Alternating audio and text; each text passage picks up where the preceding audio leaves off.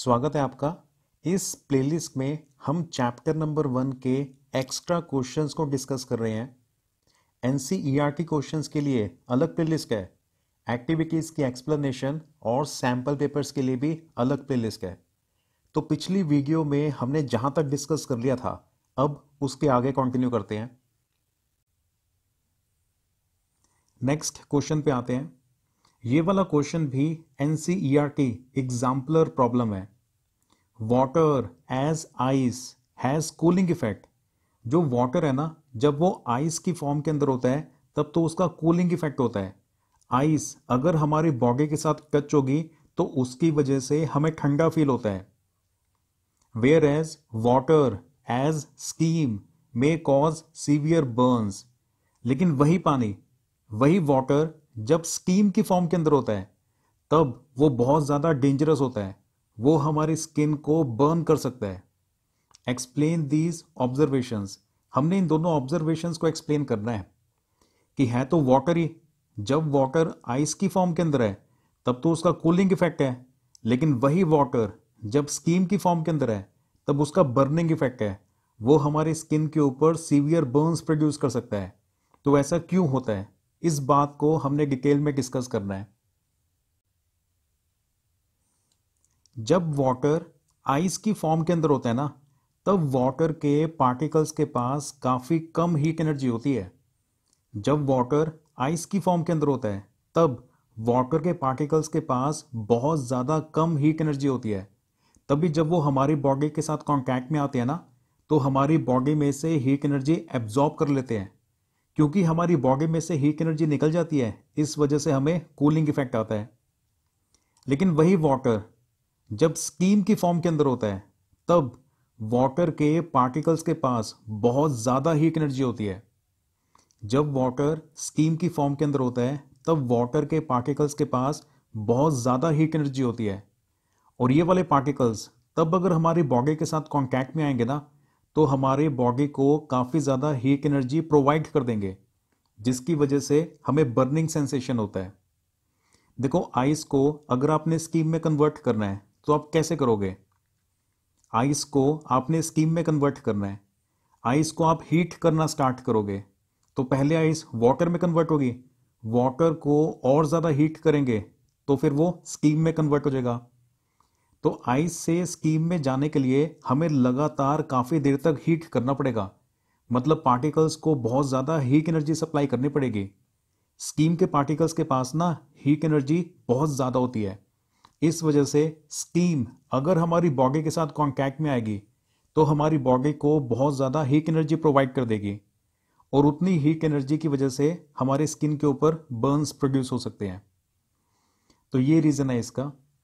Answer के अंदर आप ऐसे लिखो, ऐसे लिखोगे when water is present in the form of ice its particles have very low energy जो वाटर है ना, जब वो आइस की फॉर्म के अंदर है, उस समय वाटर के जो पार्टिकल्स होते हैं, उनके पास बहुत ज़्यादा कम एनर्जी होती है, बहुत लो एनर्जी होती है। When they come in contact with the body they absorb heat energy from the body and produce a cooling effect जब वो किसी भी बॉडी के साथ कॉन्टैक्ट के अंदर आते हैं तो वो हमारी बॉडी में से हीट एनर्जी को एब्जॉर्ब कर लेते हैं। उनके पास एनर्जी बहुत कम होती है ना?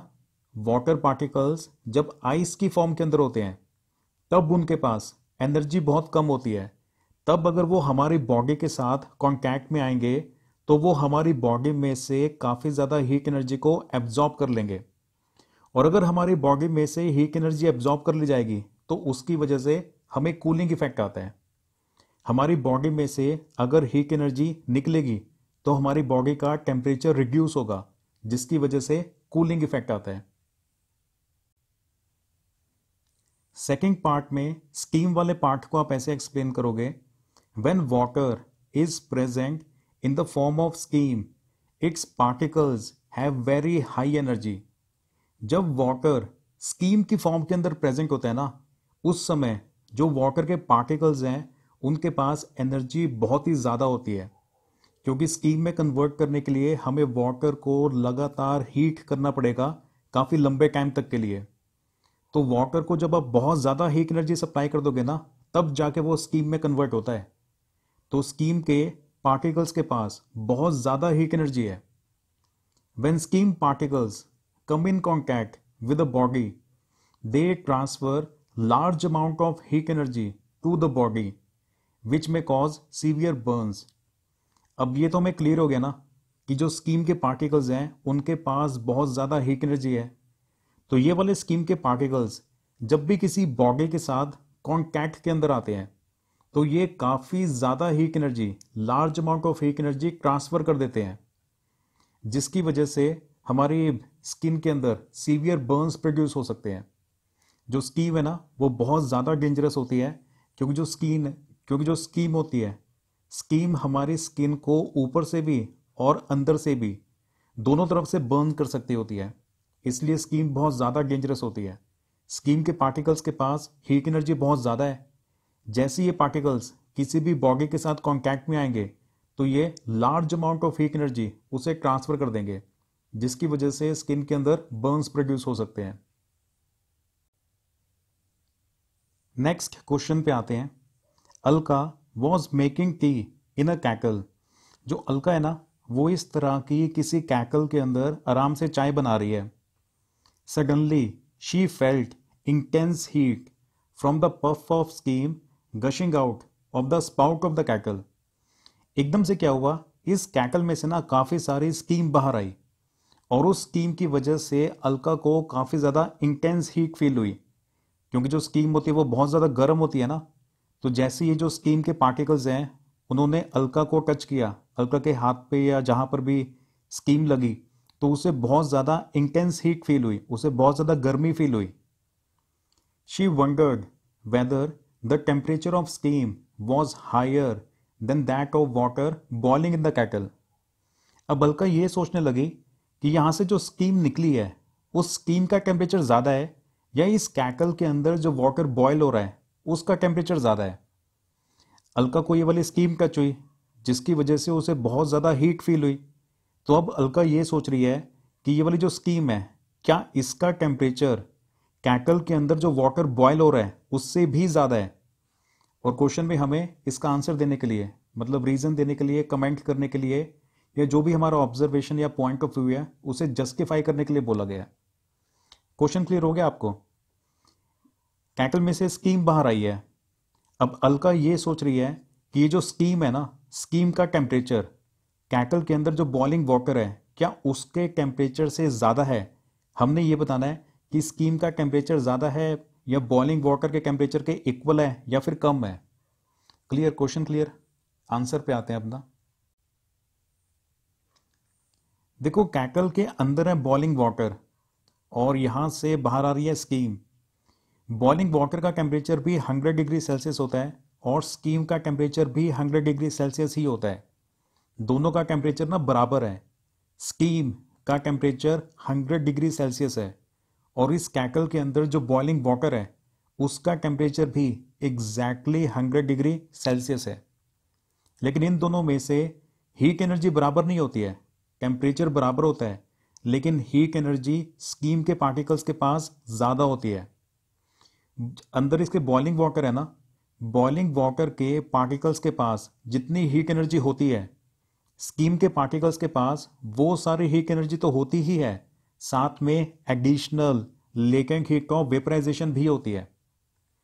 वाटर को स्कीम में कन्वर्ट करने के लिए जो हमें एडिशनल हीट सप्लाई करनी पड़ती है ना उसे बोलते हैं लेकेंट हीट ऑफ़ वेपराइजेशन तो स्कीम के पार्टिकल्स के पास उतनी एनर्जी तो होती ही है जितनी बॉइलिंग वाटर के पार्टिकल्स के पास होती है।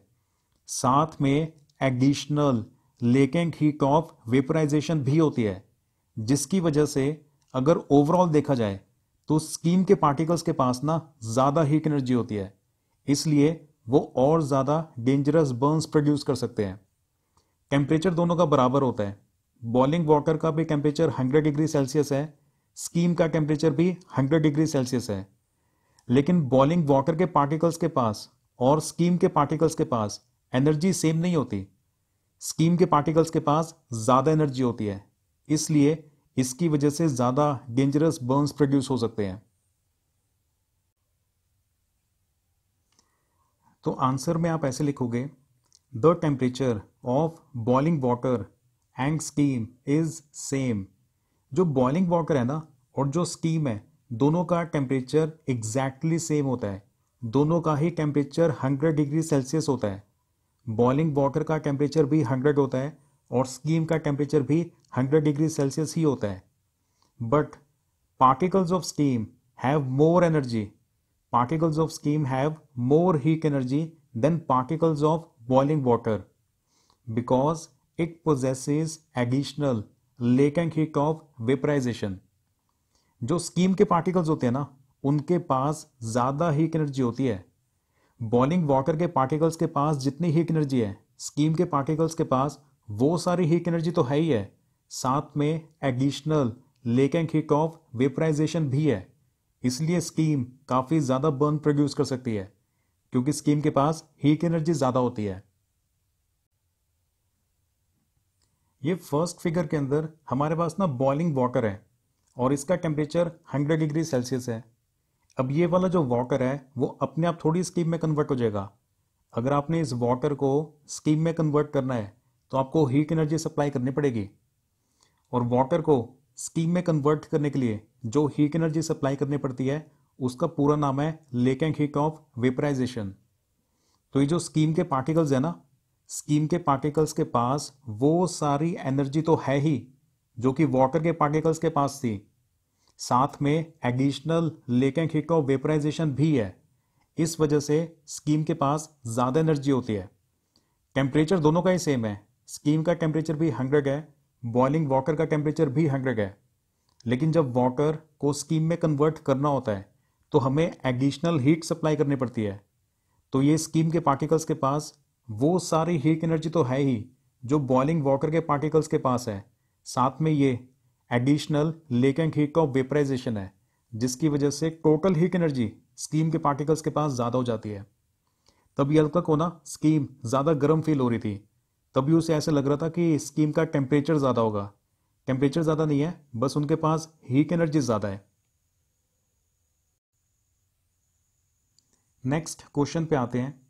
A glass tumbler containing hot water is kept in the freezer compartment of a refrigerator where temperature is less than zero degree Celsius देखो, हमारे पास ना एक ग्लास है, और उस ग्लास के अंदर ना हॉट वाटर है मतलब गर्म पानी है, और हमने उस ग्लास को रेफ्रिजरेटर के फ्रीजर में रख दिया है, जहाँ पर टेम्परेचर ज़ीरो डिग्री सेल्सियस से भी कम होता है।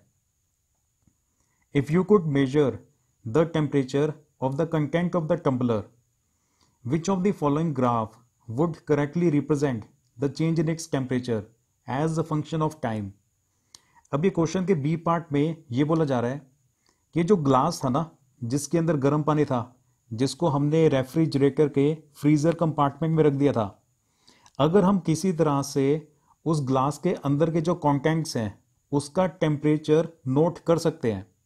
सपोज़ हम हमारे पास कोई ऐसी टेक्नोलॉजी है जिससे जो आपका ग्लास है ना, वो तो रेफ्रिजरेटर के फ्रीज़र कंपार्टमेंट के अंदर ही पड़ा हुआ है। उसको अंदर रखे रखे ही हम उसके अंदर के जो कंटेंट्स हैं, उसका टेम्परेचर नोट कर सकते हैं। तो अगर हम टाइम और टेम्परेचर के बीच में ग्राफ बनाएँगे तो किस तरह का ग्राफ बनेगा? आगे हमें ना फोर ऑप्शंस दे रखे हैं, चार ग्राफ्स बना के दे रखे हैं।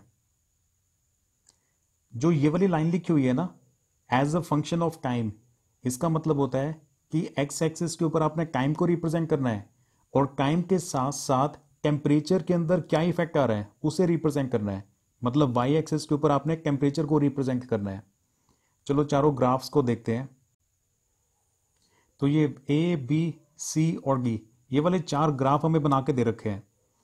देखो आपको ग्राफ को ना रीड करना काफ़ी अच्छे तरीके से आना चाहिए। अगर आपने आगे जाके क्लास इलेवन ट्वेल्थ के अंदर मेडिकल या नॉन मेडिकल लेना है तब फिर आपको ग्राफ को रीड करना तो बहुत अच्छे से आना चाहिए। क्योंकि एक लंबा पैराग्राफ लिख के जितनी इन्फॉर्मेशन को रिप्रेजेंट किया जा सकता है ना, एक छोटा सा ग्राफ बना के उससे ज़्यादा इन्फॉर्मेशन को रिप्रेजेंट किया जा सकता है। तो एक एक करके ज़रा इन चारों ग्राफ्स को स्टडी करते हैं। सबसे पहले इसको ग्राफ नंबर डी को देखते हैं। अब देख रहे हो यहाँ पे एक्स एक्सिस के ऊपर टाइम है और टाइम को मेजर किया जा रहा है मिनट्स के अंदर। ये जो वाई एक्सिस है वाई एक्सिस के ऊपर टेम्परेचर है और टेम्परेचर को हम मेजर कर रहे हैं डिग्री सेल्सियस में। ये वाली जो डॉटेड लाइन है ना, वो ज़ीरो डिग्री सेल्सियस को रिप्रेजेंट कर रही है। मतलब यहाँ पे ज़ीरो है, फिर इसके ऊपर के टेम्परेचर्स होंगे ten twenty thirty forty fifty sixty ऐसे। और इसके नीचे minus ten minus twenty minus thirty इस तरह के टेम्परेचर्स होंगे। अब ये देखो, ये जो ग्राफ है ना, पहले ये नीचे की तरफ़ आ रहा है। मतलब यहाँ पे जो भी टेम्परेचर था, यहाँ पे पहुँच के टेम्परेचर ज़ीरो हो गया है। मतलब टेम्परेचर डिक्रीज हो रहा है। पहले टेम्परेचर डिक्रीज हो रहा है, फिर टेम्परेचर इंक्रीज हो रहा है। ये वाला ग्राफ रिप्रेजेंट कर रहा है कि पानी के ग्लास को जब आप रेफ्रिजरेटर के फ्रीज़र कंपार्टमेंट में रखोगे तो पहले उसका टेम्परेचर डिक्रीज होगा, फिर उसका टेम्परेचर इंक्रीज होगा। यहाँ तक तो ठीक था। ये वाला जो पार्ट है ना, वो गलत है। फ्रिज के अंदर अगर आपने पानी रखा हुआ है तो उसका टेम्परेचर डिक्रीज होता है। थोड़े टाइम के बाद फिर टेम्परेचर इंक्रीज नहीं होने लग जाता। अगर आप आलू को फ्रिज में रखोगे तो पहले आलू ठंडा होगा, उसके बाद आलू गर्म हो जाएगा। ये ग्राफ कह रहा है कि ऐसा होगा। अगर आप आलू को फ्रिज में रखोगे तो आलू पहले ठंडा होगा, फिर और ठंडा होगा, फिर और ठंडा होगा। पहले ठंडा होगा, उसके बाद गर्म हो जाएगा। आलू के साथ ऐसा नहीं हो सकता। तो ये वाला पार्ट तो गलत है। इस वाले पार्ट पे आते हैं? बी पार्ट को देखते हैं कि क्या होगा। बी पार्ट में भी ये वाली जो लाइन है, ये इस बात को रिप्रेजेंट कर रही है कि टेम्परेचर डिक्रीज होगा। इतना पार्ट तो ठीक है, क्योंकि फ्रिज में जब हम रखेंगे तो टेम्परेचर डिक्रीज होगा। इस पॉइंट पे टेम्परेचर ज़ीरो हो गया है। अब देख लो, फिर ये लाइन ना सीधी ही चली गई है। ये वाला पार्ट यहाँ पे गलत है। एक बार जब टेम्परेचर ज़ीरो हो जाएगा ना तो उसके बाद जो वाटर है ना, वो सॉलिड आइस में कन्वर्ट होना स्टार्ट हो जाता है। और जब तक वाटर आइस में कन्वर्ट ना हो जाए, तब तक ग्राफ और नीचे नहीं जाएगा मतलब टेम्परेचर और डिक्रीज नहीं होता। लेकिन यहाँ पर तो उन्होंने सीधा ही नीचे ले गए हैं, इसलिए ये वाला पार्ट गलत है। ये जो ग्राफ ए है ना, ग्राफ ए बिल्कुल सही बना हुआ है। ग्राफ ए को डिस्कस करते हैं। देखो, ये वाला जो पार्ट है, वो रिप्रेजेंट कर रहा है कि टेम्परेचर डिक्रीज हो रहा है, जो कि बिल्कुल सही बात है। जैसे आप ग्लास को रेफ्रिजरेटर के फ्रीजर कंपार्टमेंट में रखोगे तो टेम्परेचर डिक्रीज होना स्टार्ट होगा। पानी ठंडा होना स्टार्ट हो जाएगा। टेम्परेचर ज़ीरो डिग्री सेल्सियस हो जाएगा। तो यहाँ तक ठीक? उसके बाद देखो, यहाँ से लेकर यहाँ तक टेम्परेचर ज़ीरो ही है। क्योंकि इस समय पता है क्या हो रहा है? जो वाटर है ना, वो आइस में कन्वर्ट हो रहा है। यहाँ से लेकर यहाँ तक अब ना फ्रीजिंग हो रही है। जो वाटर है वाटर आइस में कन्वर्ट हो रहा है। इस पॉइंट पे, इस वाले पॉइंट पे अब सारा का सारा वाटर ना आइस में कन्वर्ट हो चुका है। जब सारा वाटर आइस में कन्वर्ट हो चुका है, उसके बाद टेम्परेचर फिर और डिक्रीज होना स्टार्ट हो जाएगा। Minus ten minus twenty minus thirty minus forty temperature फिर और डिक्रीज होना स्टार्ट हो जाएगा। तो पहले टेम्परेचर डिक्रीज होगा। डिक्रीज होकर कितना हो जाएगा? ज़ीरो डिग्री सेल्सियस हो जाएगा। ज़ीरो डिग्री सेल्सियस होने के बाद क्या होगा? वाटर आइस में कन्वर्ट होना स्टार्ट हो जाएगा। टेम्परेचर तब तक ज़ीरो डिग्री सेल्सियस ही रहेगा। जब तक सारा का सारा वाटर आइस में कन्वर्ट नहीं हो जाता। जो ये वाला पॉइंट है ना, इस वाले पॉइंट पे वाटर आइस में कन्वर्ट होना स्टार्ट हुआ था। और जो ये वाला पॉइंट है ना, इस वाले पॉइंट पे सारा का सारा वाटर आइस में कन्वर्ट हो चुका है। मतलब यहाँ से लेकर यहाँ तक, इस पॉइंट से लेकर इस पॉइंट तक वाटर लगातार आइस में कन्वर्ट होता जा रहा है और इस पॉइंट पे सारा का सारा वाटर आइस में कन्वर्ट हो चुका है। जब सारा वाटर आइस में कन्वर्ट हो चुका होगा, उसके बाद फिर टेम्परेचर और डिक्रीज होना स्टार्ट होगा। क्लियर हुआ? तो ये ऑप्शन ठीक है। सी वाले पार्ट में अब आपको पता चल गया होगा कि गलती क्या है। ये वाला पार्ट ठीक है। पहले टेम्परेचर डिक्रीज होता है। फिर जो वाटर है, आइस में कन्वर्ट होगा, ये भी ठीक है। लेकिन फिर इन्होंने टेम्परेचर को और डिक्रीज नहीं किया। वाटर जब सारा आइस में कन्वर्ट हो चुका होगा, उसके बाद टेम्परेचर और डिक्रीज होना स्टार्ट हो जाएगा। फिर वो और ज़्यादा ठंडा होना स्टार्ट हो जाएगा। क्योंकि इन्होंने और नीचे नहीं लेके गए ना, इसलिए ये वाला पार्ट गलत है। ये बी वाला पार्ट समझ आ गया था, क्यों गलत है? यहाँ पे इन्होंने टेम्परेचर डिक्रीज किया, लेकिन फिर वाटर को आइस में कन्वर्ट होने वाला पॉइंट ये वाली लाइन को शो नहीं किया यहाँ पे, इसलिए ये वाला पार्ट गलत था। और ये डी वाला पार्ट तो टोटली रॉन्ग है। डी वाला पार्ट कह रहा है कि अगर आप आलू को फ्रिज में रखोगे तो पहले वो ठंडा होगा, फिर गर्म होगा। पहले टेम्परेचर डिक्रीज होगा, फिर टेम्परेचर इंक्रीज होगा। आलू के साथ ऐसा नहीं होगा। टेम्परेचर डिक्रीज होगा, उसके बाद टेम्परेचर और डिक्रीज होगा। ये इंक्रीज थोड़ी हो जाता है फ्रिज में टेम्परेचर इसलिए ये वाला पार्ट गलत है।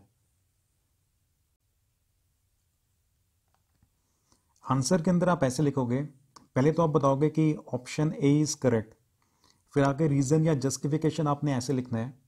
On keeping the glass tumbler containing hot water in the freezer compartment of a refrigerator, the temperature of water will decrease till it reaches zero, which is the freezing point of water. जब हम glass को जिसके अंदर hot water है उसे refrigerator के freezer compartment में रखेंगे तो उसका जो टेम्परेचर है ना वो डिक्रीज होना स्टार्ट होगा और तब तक डिक्रीज होता रहेगा जब तक वो ज़ीरो डिग्री सेल्सियस नहीं हो जाता और ये जो ज़ीरो डिग्री सेल्सियस है ना ये वाटर का फ्रीजिंग पॉइंट है। On keeping the glass tumbler containing hot water in the freezer compartment of refrigerator जब आप ग्लास को जिसके अंदर गर्म पानी है, उसे रेफ्रिजरेटर के फ्रीजर कंपार्टमेंट में रखोगे the temperature of water will decrease till it reaches zero degree Celsius तो जो वाटर का टेम्परेचर है ना, वो लगातार डिक्रीज होता रहेगा, जब तक वो ज़ीरो डिग्री सेल्सियस नहीं हो जाता। और ये जो ज़ीरो डिग्री सेल्सियस है ना, ये वाटर का फ्रीजिंग पॉइंट है. At zero degree Celsius water will start converting into ice जब टेम्परेचर ज़ीरो डिग्री सेल्सियस हो जाएगा ना, फिर टेम्परेचर रुक जाएगा.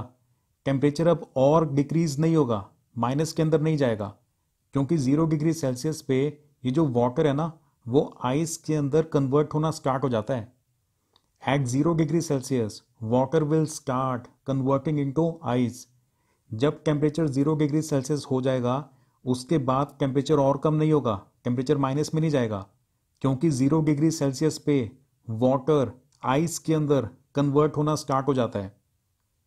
The temperature will remain zero degree Celsius till all the water is converted into ice temperature तब तक zero degree Celsius ही रहेगा। जब तक सारा का सारा वाटर आइस में कन्वर्ट नहीं हो जाता। टेम्परेचर कब तक ज़ीरो रहेगा? जब तक सारा का सारा पानी ग्लास में जितना पानी है ना, जब तक सारा का सारा पानी आइस में कन्वर्ट नहीं हो जाता। After that the temperature will start decreasing again एक बार जब सारा का सारा वाटर आइस में कन्वर्ट हो चुका है, उसके बाद फिर से टेम्परेचर डिक्रीज होना स्टार्ट हो जाएगा। मतलब ज़ीरो से और नीचे जाना स्टार्ट हो जाएगा। Minus one, minus two, minus three, minus four, ऐसे टेम्परेचर फिर से डिक्रीज होना स्टार्ट हो जाएगा। क्लियर नेक्स्ट क्वेश्चन पे आते हैं। Suggest which of the vessels A B C और D will have the highest rate of evaporation हमें यहाँ पे क्वेश्चन में ना चार डायग्राम्स बना के दे रखे हैं। दो तो आपको क्लियर नज़र आ रहे हैं। ये बाकी के दोनों भी अभी आप देख पाओगे। और हमने बताना है कि इन चारों में से ना वो कौन सी वेसल है जिसके अंदर इवेपोरेशन की स्पीड सबसे ज़्यादा होगी? हमने बताना है चारों वेसल में से वो कौन सी वेसल है which has the highest rate of evaporation rate of evaporation का मतलब स्पीड ऑफ़ इवेपोरेशन मतलब किस कंटेनर के जो पार्टिकल्स हैं, वो सबसे ज़्यादा हाई स्पीड पर इवेपोरेट होंगे। तो ये हमारे पास फोर वेसल्स हैं ए बी सी और डी ये जो सी वाली वेसल है ना, इसके ऊपर एक फ़ैन भी है और फ़ैन चल भी रहा है मूविंग फ़ैन लगा हुआ है। बाकी वेसल्स के अंदर ऐसा कुछ नहीं है। अब हमने बताना है कि इवेपोरेशन की स्पीड इन चारों में से किसके अंदर सबसे ज़्यादा होगी। तो पहले तो आप ए और बी को कंपेयर करो। इन दोनों के अंदर कुछ फ़र्क आपको नज़र आ रहा है? देखो, जो ए है ना, वो थोड़ा सा ज़्यादा बड़ा है। मतलब ए का सरफेस एरिया ज़्यादा होगा। और हमें ये पता है evaporation increases with increase in surface area तो अगर ए और बी सिर्फ़ ये दोनों ही होते तो जो ए वाला पार्ट है ना, वो हमारा आंसर होता, क्योंकि इसका सरफेस एरिया ज़्यादा है। और सरफेस एरिया अगर ज़्यादा हो तो इवेपोरेशन की स्पीड इंक्रीज हो जाती है। तभी तो कपड़ों को सुखाने के लिए उन्हें फैला दिया जाता है, क्योंकि फैलाने से सरफेस एरिया ज़्यादा हो जाता है। और सरफेस एरिया अगर ज़्यादा होगा तो इवेपोरेशन विल बी फास्टर तो अब ए और सी को देखते हैं। बी तो हट गया ना यहाँ से। क्योंकि ए और बी में से तो ए में इवेपोरेशन की स्पीड ज़्यादा होगी तो बी तो वैसे ही आंसर नहीं हो सकता। बी हट गया। अब ए और सी को देखते हैं। देखो ए और सी दोनों का साइज़ भी बराबर है तो मतलब सरफेस एरिया तो दोनों का ही सेम है। लेकिन जो सी है ना, उसके ऊपर फ़ैन भी लगा हुआ है और फ़ैन चल रहा है तो इसका मतलब यहाँ पे विंग स्पीड भी ज़्यादा है। इवेपोरेशन इंक्रीज हो जाता है with increase in wind speed हवा अगर तेज चलेगी ना तो उससे भी इवेपोरेशन की स्पीड इंक्रीज होती है। तो ए और सी में से जो सी वाला पार्ट है, उसमें इवेपोरेशन और भी ज़्यादा तेज़ी से होगा। क्योंकि यहाँ पे सरफेस एरिया भी ज़्यादा है और साथ में विंग स्पीड भी ज़्यादा है, क्योंकि ऊपर फ़ैन चल रहा है। जो डी वाला पार्ट है, उसमें तो इवेपोरेशन होगा ही नहीं, क्योंकि देखो उसे ना ऊपर से कवर कर रखा है। इवेपोरेशन का मतलब होता था, ये अंदर जो लिक्विड है ना लिक्विड के पार्टिकल्स का गैस के पार्टिकल्स के अंदर कन्वर्ट हो जाना। अगर आपने इसको ऊपर से बंद ही कर दिया तो तो लिक्विड के पार्टिकल्स यहाँ से बाहर ही नहीं जा पाएँगे। गैस के पार्टिकल्स में कन्वर्ट होके एयर में मिक्स ही नहीं हो पाएँगे। तो डी तो वैसे ही नहीं आंसर हो सकता, क्योंकि यहाँ पे तो आपने इवेपोरेशन को ही ख़त्म कर दिया है, क्योंकि आपने ऊपर से बंद ही कर दिया इस कंटेनर को। तो ए और बी में से ए में स्पीड ज़्यादा होगी तो बी वैसे ही हट गया, और ए और सी में से सी में इवेपोरेशन की स्पीड ज़्यादा होगी, क्योंकि सी में दोनों एडवांटेजेस हैं। विंड स्पीड का भी एडवांटेज है और साथ में ज़्यादा सरफेस एरिया होने का भी एडवांटेज है। तो सी है इस पार्ट का आंसर ना। तो आंसर के अंदर आप लिखोगे ऑप्शन सी इज़ करेक्ट और साथ में रीजन या फिर जस्टिफिकेशन के अंदर आप ऐसे लिख सकते हो। Rate of evaporation increases with increase in surface area and wind speed जो इवेपोरेशन की स्पीड है, वो इंक्रीज हो जाती है। अगर हम सरफेस एरिया को इंक्रीज करें या फिर जो विंड स्पीड है ना, उसे इंक्रीज करें। अगले पार्ट में आप लिखोगे surface area of vessel A is more than that of vessel B so evaporation will be more in vessel A पहले ना हमने ए और बी इन दोनों को कंपेयर करके बताया हुआ है कि अगर वेसल ए और वेसल बी सिर्फ़ इन दोनों को कंपेयर किया जाए तो जो ए है वेसल ए उसका एरिया ज़्यादा है, उसका सरफेस एरिया ज़्यादा है।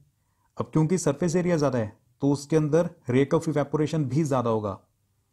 तो फ़र्स्ट पार्ट में पहले तो हमने ए और बी को कंपेयर किया तो बी को रिजेक्ट कर दिया, क्योंकि ए और बी में से ए का सरफेस एरिया ज़्यादा था तो इसके अंदर इवेपोरेशन ज़्यादा होगी। Vessel C has same area as vessel A अब ए और सी को कंपेयर कर रहे हैं तो ए और सी को जब कंपेयर किया जाता है तो एरिया तो दोनों का सेम ही है।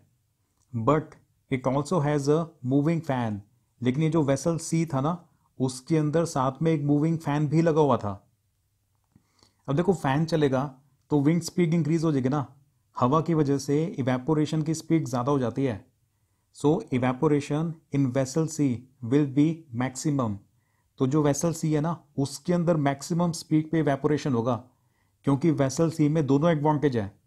इसका सरफेस एरिया भी ज़्यादा है और इसके अंदर फ़ैन भी लगा हुआ है तो फ़ैन की वजह से जो विंड की स्पीड है, वो भी ज़्यादा है। तो इसलिए वेसल सी के अंदर मैक्सिमम इवेपोरेशन होने वाली है। और डी के बारे में आपने बताना है कि there will be no evaporation in vessel D because it is covered जो वेसल डी था ना, उसे तो ऊपर से कवर ही कर दिया था। तो उसकी वजह से वेसल नंबर डी के अंदर तो बिल्कुल भी इवेपोरेशन होगा ही नहीं। नेक्स्ट क्वेश्चन पे आते हैं। Conversion of solid to vapours is called sublimation देखो क्वेश्चन की फ़र्स्ट लाइन में तो हमें एक स्टेटमेंट दे रखी है और ये कह रहे हैं कि ये तो हमें पता ही है कि सॉलिड से अगर वेपर्स में कन्वर्ट हो रहा है डायरेक्टली तो उसे सब्लिमेशन बोलते हैं। Name the term used to denote the conversion of vapors to solid. अब क्वेश्चन की सेकंड लाइन में पूछा जा रहा है कि वेपर से अगर सॉलिड में कन्वर्जन हो रही है तो फिर उसे क्या बोलते हैं? सॉलिड से वेपर्स में कन्वर्जन हो रही है तो उसे तो सब्लिमेशन बोलते हैं। लेकिन अगर इसका उल्टा हो रहा है सॉलिड से वेपर्स नहीं, बल्कि वेपर से सॉलिड में कन्वर्ट हो रहा है तो फिर उसे क्या बोलते हैं? तो इसका आंसर है कि उसे भी सब्लिमेशन ही बोलते हैं। चाहे सॉलिड से वेपर्स में कन्वर्जन हो, चाहे वेपर से सॉलिड में कन्वर्जन हो। देखो, आमतौर पे तो ऐसा होता है ना कि अगर आप हीट करोगे तो पहले सॉलिड से लिक्विड में कन्वर्ट होगा, फिर लिक्विड से गैस में मतलब वेपर्स में कन्वर्ट होगा। लेकिन कुछ ऐसे सब्सटेंसेस होते हैं जो कि लिक्विड में कन्वर्ट नहीं होते। सॉलिड से डायरेक्टली ही गैस में कन्वर्ट हो जाते हैं। और ठंडा करने पे गैस से डायरेक्टली ही सॉलिड में कन्वर्ट होते हैं। दोनों प्रोसेसेस का नाम सब्लिमेशन ही है। चाहे सॉलिड से वेपर्स में कन्वर्ट हो, चाहे वेपर से सॉलिड में कन्वर्ट हो, दोनों प्रोसेसेस को सब्लिमेशन ही बोलते हैं। तो आंसर में आप ये लिखोगे conversion from solid to vapours और from vapours to solid without passing through liquid state is called sublimation चाहे सॉलिड से वेपर्स में कन्वर्जन हो, चाहे वेपर से सॉलिड में कन्वर्जन हो, अगर वो बीच में लिक्विड स्टेट में से पास नहीं हो रहा ना तो फिर उसे सब्लिमेशन ही बोला जाएगा। दिस इज़ द आंसर शेर की तरह पूरी ताकत से तैयारी करनी है एग्ज़ाम की। See you in the next video all the best